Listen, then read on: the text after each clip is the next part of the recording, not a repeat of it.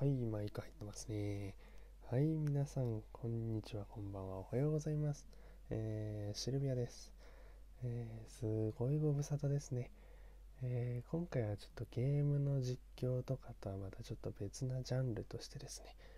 えー今回ちょっとプラモデルに挑戦しようかなというか、もう結構プラモデルはやってたんですけど、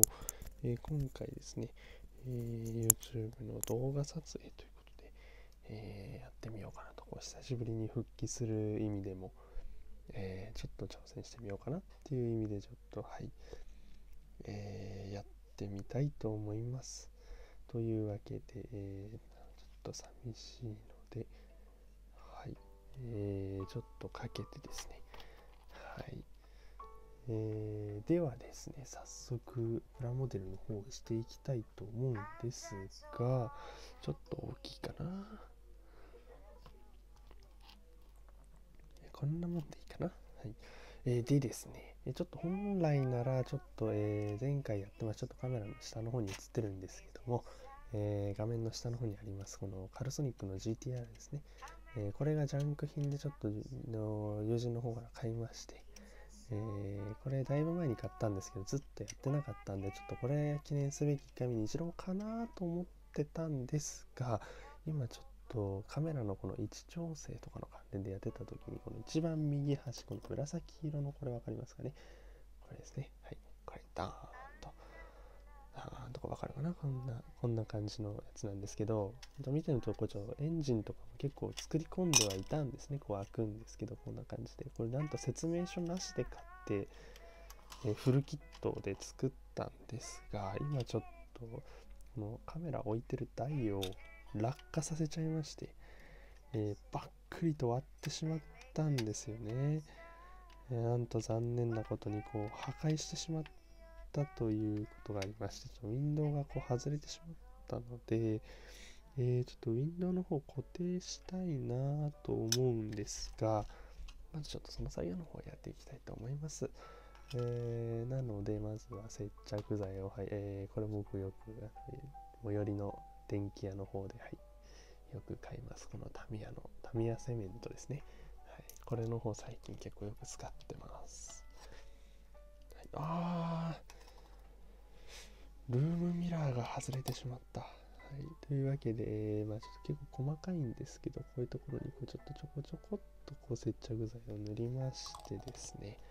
えー、はい。えまあ、僕はよく前、昔、前というか昔というか、まあ、前ですね。前から結構プラモデルの方はやってるんですが、落ちた落ちた。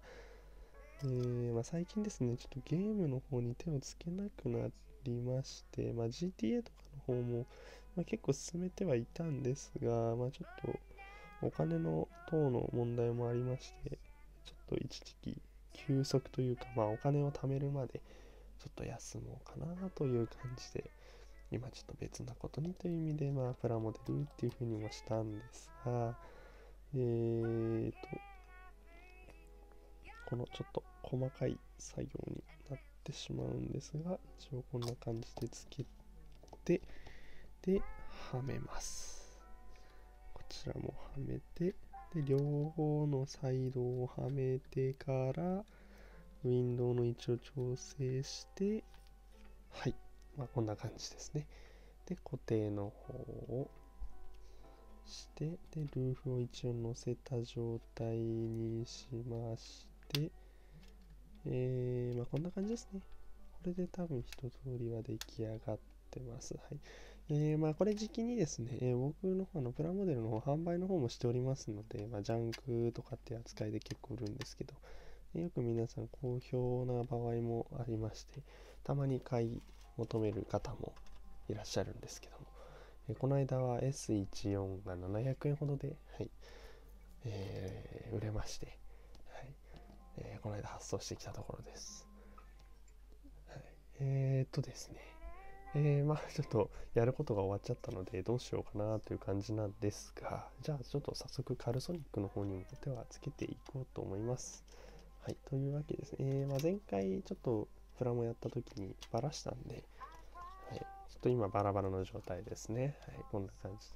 で。別にですね、えー、今、カルソニックのキットもですね、あの別に手に入れましてですね、机の下にこうあるんですけども、まあこんな感じでこうダーンとこう分かりますかね。はい、ドーンとこんな感じでですね、カルソニックのキットがあるわけなんですよね。はい。えー、でですね、まあ、中開けますと、まあ、説明書があったりとかでも中はこんな感じでこう見えますかね。えー、またーんとこんな感じでキットが、ああ、落ちて、落ちてきた、落ちてきた。でまあ、キットがこんな感じで入ってます。はい。えー、まあ一応一通りは揃ってはいるんですが、まあこの車両ちょっと組み立て途中だと、ボディがなんかいろいろと汚いというか、まあボディが擦れてる感じで削った感があるみたいな感じなので、ツヤ感のないボディとなってます。まあちょっとそれなのでジャンク品という扱いで安く購入してまいりました。ただほぼ使ってないというか作ってない状態のプラモデルなので、まあ、あの出来の方は多分頑張ればいいものになるんではないかなと思います。はい。というキットです。はい、で一応それをこの間購入してきましてですね、え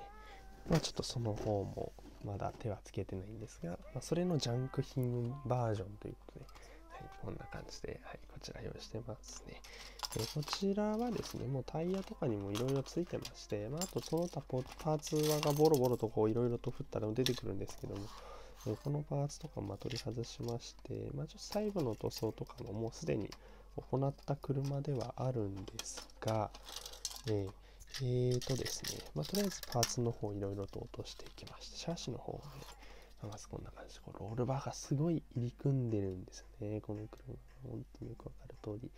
でですね、まあ、この車ちょっと、後に販売予定なので、まあ、ここにパーツがいろいろと入ってるんですが、このシートだけ、一応、これですね、はい、このバケットシートの方だけは外させてもらって、えー、残りのまあ不要なパーツというか、まあもともとキットを別に買ったのでね、同じ、全く同じキットを買ったので、えー、まあたまたまジャンク品ということで安く手に入れたキットがありますので、まあ、そのキットの方があるということで、こちらは、あの一応使わないということで、まあ、パーツ取りとかにして、そのまま残りは手放そうかなと思った形です。えー、でですね、まあ、ちょっと若干純正の 33GTR とは、まあ、これ 33GTR なんですけど、まあ、リアとか見たらわかると思うんですけど、はいえー、カルソニックのこうレース仕様の 33GTR ということなんですが、まあ、ちょっと若干純正とは違うところがあるのと、何せこのジャンクのプラモでこう友人から譲り受けた時にこう何が足りないかっていうと、このタイヤなんですよね。こう3つしかないんですよ。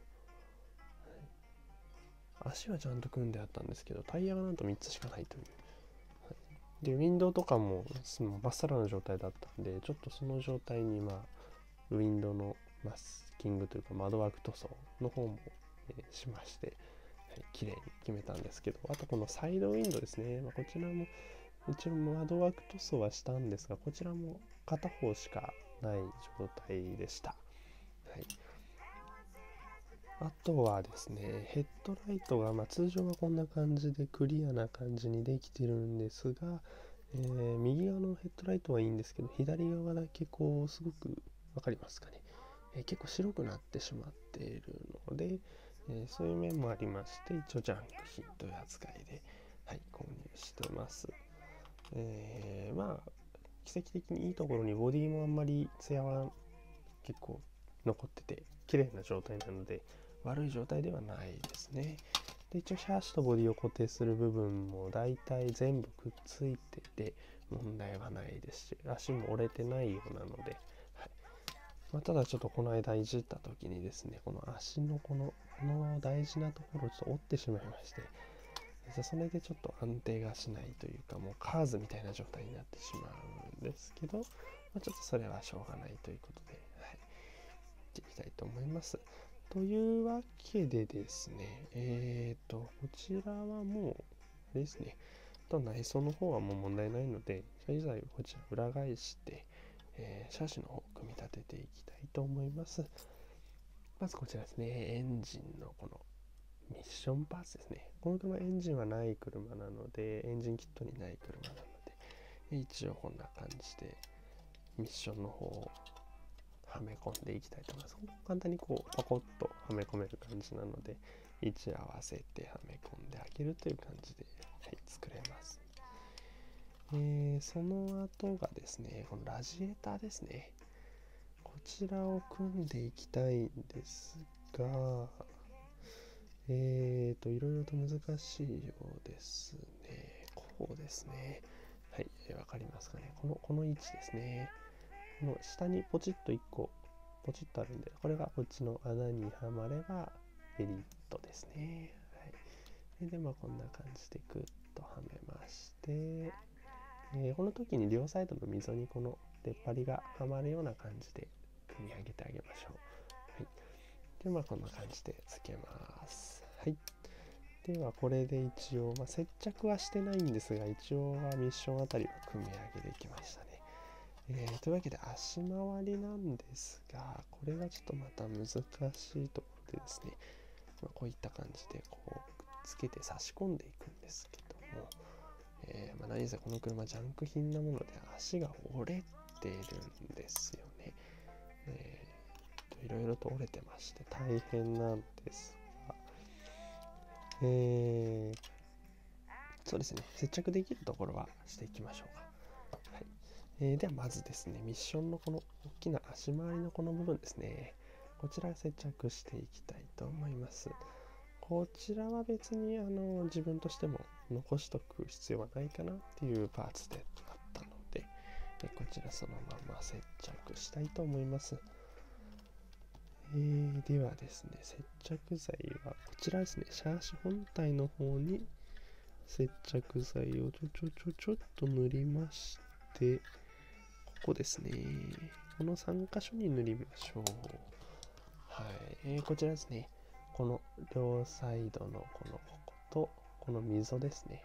ミッションがはまる。この溝にも接着剤塗ってあげましょう。えー、で、このままですね、こういうふうにパコッとはめまして、この3箇所クックッと押さえまして、これでなんとかあとは接着してくれるはずです。はい。でこの時、こっちの内装の方が外れないように気をつけましょう。はい内装外れるとね、この複雑な構造なので結構手間がかかってしまうのでね。えこの1回邪魔だったらラジエーターは外しましょう。えー、ということでですね、この折れてる部分の方の修正もこの間にしてしまいまして、一緒に乾かしてしまいましょう。はい。こちらというわけでですね、こんな感じで、えー、シャシの方どんどん組み上がってはいっております。えー、まあですね、まだちょっと足回りの方全然っていう感じではあるんですけども、一応こんな感じで組み上がってきてはいます。はい。えー、あとはこんな感じですね。足もこんな、ここで止めれるんで、ここで接着して、こう、ちょっとつけれる部分はどんどんつけていきたい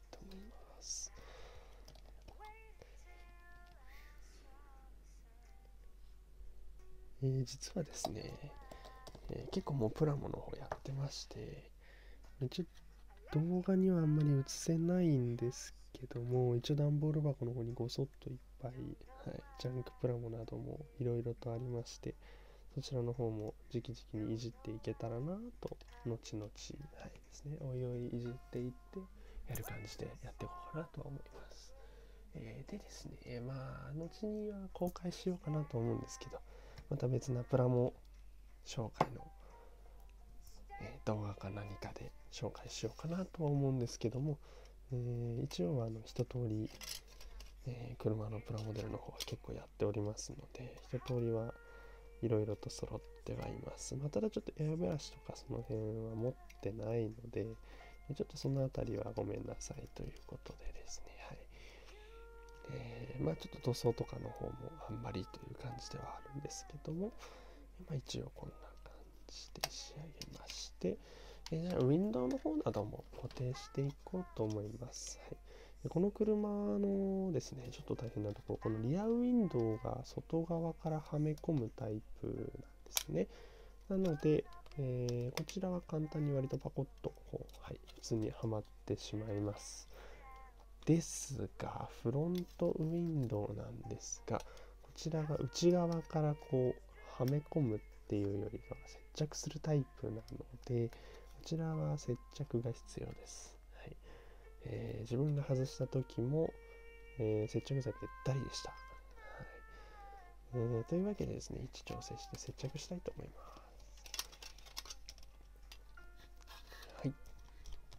えー、この時シャーシが邪魔だったらどけましょう。後でラジエーターもくっつけておかないとダメですね。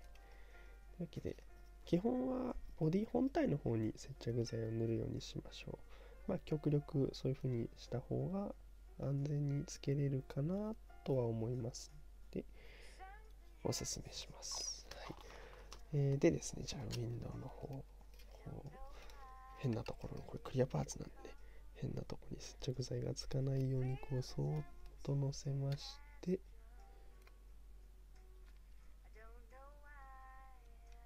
グッグッとはめていきます。でウィンドウの位置を調整して接着できましたというわけでですね。はい。これで前後のウィンドウは車体にくっつきました。はいつきましたね。というわけで次サイドウィンドウなのですがこちらも一応念のため接着はしてあったのですが一応はめ込みでつくようにはなってます。はいま、ただこちらが結構複雑な構造をしていますので簡単に割と外れてしまうんですね。はい、そこは気をつけましょう。えー、結構割れてますね。まあ、ただちょっとパッと見は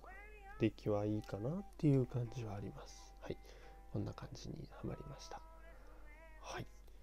えー、でですね、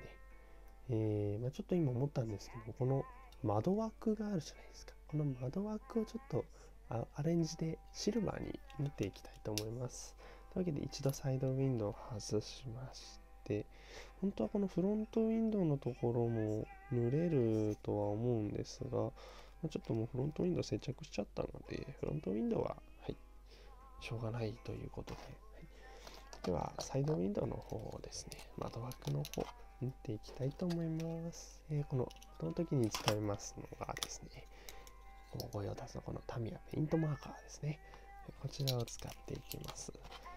こちらですね、細かいところがすごく綺麗に塗装ができるので、すごくもう使い込んでおります。はい。個人的に結構いいペンですね。はい。えー、こんな感じでこうスススーっとこう細かい部分をすぐ塗っていけるので、はい。えー、結構便利なペンになります。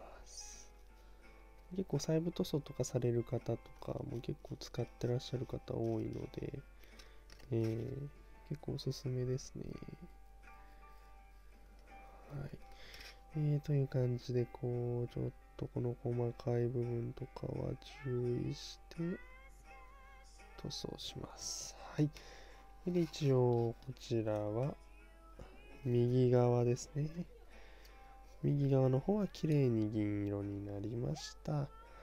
えー、一応ウィンドウつけるのでわからないんですけど、一応この隅のわからない部分まで綺麗にシルバーにしたいと思います。反対側行きます。はい、反対側も同じように、こう、ピーッ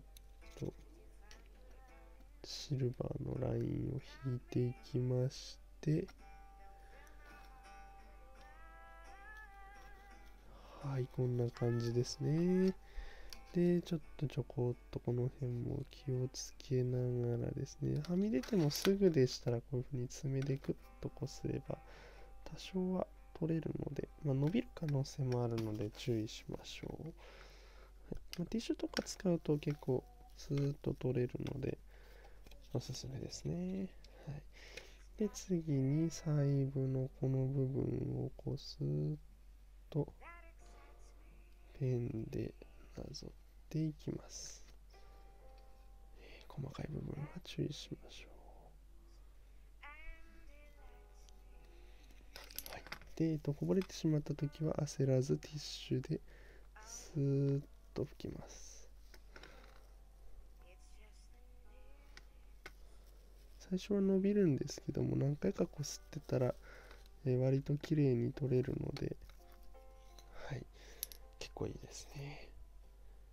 であと反対側触ってしまったりとかした時にそのまま別なところに気づかないで手を触れてしまったりすると変にシルバーについてしまったりして、えー、後々あーということになってしまいますので、えー、そこは注意しましょう。はい。えー、ペイントマーカーがですね、実は乾くのにちょっと時間がかかりまして、え、この GTR しばらくちょっと時間を置いておきたいと思います。なので、こちらはこれにて一度窓枠の塗装した段階でちょっとだけ置いとこうと思います。はいです。ね、上から見た時に窓枠の部分がガタガタになってるのでこういう部分も一通りきれいにまっすぐ塗っていきますではみ出た部分はティッシュのこういう面でスーッと拭き取ります、まあ、少しだけ取れればそれで大丈夫なので。はい。というわけで、こちらは一度保留ということで、はい。サイドウィンドウこの状態でつけますと大変なことになってしまいますので、えー、塗料がつきついちゃうと大変なので、とりあえずサイドウィンドウはつけない状態で、えー、ああ外れてしまった。まあ、結構ハプニングもプラモデルだと多々ありますんで。えー、今このサイドのパーツが外れてしまいまして、はい、これが重要なんですね。これで今ボディとシャーシを連結している部分なので、こちらも一応接着しておきましょう。はい、もう一度戻す意味でも接着して、で、ついでにバンパーの方も固定しましょう。はい、でこちらもこの穴にちゃんとはまるように通して、ボディに固定します。はい。えー、で、このままシャーシとボディを固定します。えー、この時にですね、バンパーは気をつけなければならないのは、まあ、この位置ですね、バンパーの。はい。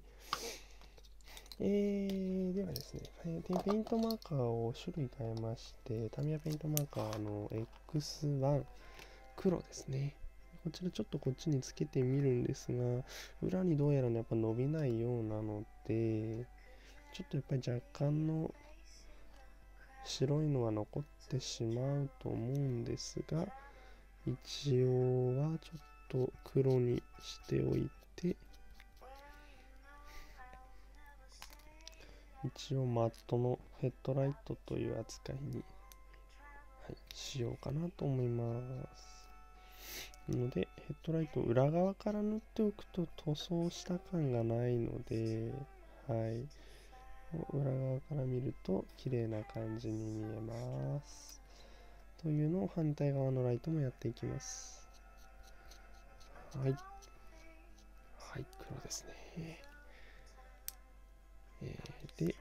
こちらの方も黒く塗っていきますで。こういう時にね、こう、ずれないように、こう、ぐっと地面に押さえつけてやる感じのために、まあ、こういうカッター板などが便利です。はい。というわけで、ペイントも赤戻しまして、で、こちら、バンパーの方にですね、接着しなければいけないんですが、えーとですね、とりあえずライトが乾かないことにもこちらも何もできないので、では、えー、また細かいパーツの方を塗っていきたいと思います。でこういう時に役に立つのがマスキングテープですでこちらも、えー、シルバーに塗っていきますはいシルバーに塗装できましたあとは乾くのを待ちましてこちらも接着していきます。この時にこのど真ん中につけてしまうと後でいろいろと乾かす位置の問題で大変なので注意しましょう。ということで、こちらは問題ないですね。はい。では、えー、こちらパーツの方乾燥してる間に、えー、まあ別な車両の方に行きたいと思います。というわけで、ちょっとパーツの方を溶けてねとしまして、で、まあ、そろそろ25分25秒と、まあ、ちょっといい時間になってきたので、えー、まあ、次の車両に行くのもあれなので、えー、今回はまあこの辺で終わりにしておきましょうか。はい。で、まあ、その前にですね、まあ、こんな、こういった感じの、こういう、なんかこういうジャンク品のプラモなどなどと、あの、安くお譲りいただける方とかいらっしゃいましたら、まあ、あのぜひぜひコメント欄とかにも言っていただければ、基本あのメルカリとか、まあ、あとはジモティ、まあ、たまにやってますね。そういうところで、はい、基本的には入手してますので、えもしそういう方いらっしゃれば、やってるよ、譲ってもいいよ、なんていう方がいらっしゃれば、えー、ぜひぜひコメントとかの方にもいただければと思います。で、ということでですね、まあ、今回はこんな感じで、はい、終わりたいと思います。えー、まあ、後々にいろいろとまた公開していきたいと思いますので、えまあ、どうかその辺もよろしくお願いしますということで、えー、ですね。はい。えー、まあ、ちょっとシャーシとボディがバラバラになってしまいますので、あんまり動かせないんですが、えー、こちら、最近作りました ER34 の、えー、まあ、作ったというか、こちらもジャンクで購入したものなんですけども、ああ、やっぱり外れてしまうんですね。これがまたちょっとタイヤが安定しないものでですね、もともとこれ履いてたタイヤが違うものなので、別なものから取ったタイヤを履かせてるので結構安定しないんですよね。まあ、でも結構いいんですよ、これ。シート一つにして。で、一応ダッシュボードはノーマルの 34GTR のものを使用しています。えー、で、サイドブレーキレバーがま見えるとかね、結構高いものを使って、SSR ですね、入ってるのが BBS ってやつですね。はい、チタンマフラーになってます。青いと。で、ボディの方もですね、こちら網入れてまして、わかりますかね？こう網入れてちょっとかっこよくしてるんですね。このダクトの部分もこう裏から見ると、はい、網張ってます。ワンパーのダクトとグリルの部分と合ってます。で、一応窓枠も塗装して、もともとリアスモーク入ってたんですけど、一応スモーク剥がして裏全部窓塗装してます。はい。で、一応ユーラスっていう感じなんで、こちらも結構いい出来になっております。で、こちらかぶせまして、本当にこちらかぶせるだけでやってる感じなんですけど、まあ、気づいた方いらっしゃると思うんですけど、ハンドルがないんですよね。いいハンドルをつけたいんですけど、他の車に結構流用しちゃってるので、ハンドルとかがあまりなくて今ちょっと置いてる状態です。はい。あと後々ね、公開していけたらいいなと思ってます。はい。えー、というわけでですね、ちら今回はこの辺で終わりにしていきたいかなと思います。えー、まあ、もしもし、まあ、いろいろとプラモの関連でも結構お話がある方いれば、今回ちょっと初挑戦でプラモの動画を出してみようっていうことだったんですけど、えー、まあ、後々にいろいろとやっていきたいと思いますので、いろんなミニカーなどといういろんな挑戦していこうかなと思います。いろいろなことにも結構手つけてるので、はい、そんな感じでいろんなものに手つけてやっていきたいかなと思ってますので、まあ、ぜひぜひ見ていただければなと思います。というわけで今回はこの辺で終わりにしたいと思います。次回もまたよろしくお願いします。見てくれてありがとうございました。では次回もお楽しみに。シルビアでした。バイバイ。